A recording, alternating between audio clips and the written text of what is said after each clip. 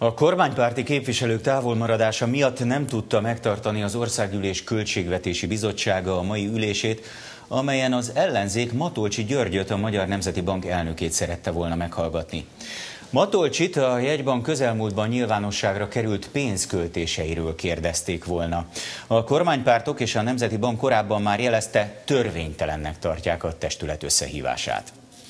Kifejezetten udvariatlan lépésnek tekintem. Így reagált a Költségvetési Bizottság szocialista elnöke, hogy üresen maradtak a kormánypárti képviselők székei.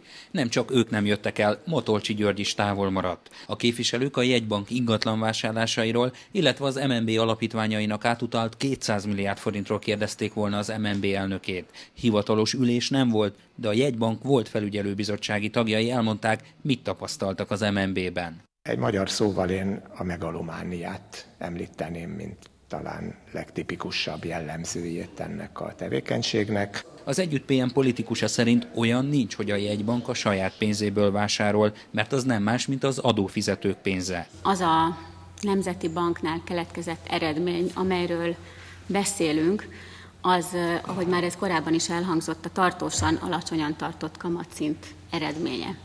Ez eredményként, bevételként jelenik meg a Magyar Nemzeti Banknál, de ez hiányként jelenik meg a magyar emberek, polgárok és a vállalkozások zsebébe. A bizottság elnöke a sikertelenülés miatt egyéni képviselői indítványban kezdeményezi, hogy az ÁSZ rendkívüli ellenőrzést indítson az MNB-nél. Az elnök azt is mondta, a Költségvetési Bizottság következő ülésére meghívják Varga Mihály nemzetgazdasági minisztert. Észszerűtlen pazarlás folyt.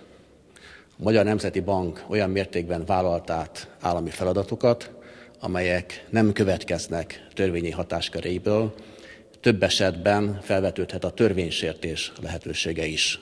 Az MNB közleményben reagált. Azt írják, hogy a bizottsági ülést a jegybanki függetlenség korlátozására tett próbálkozásnak tartják, és szerintük az MNB a közpénzből nemzeti célokat szolgáló közösségi vagyon teremt.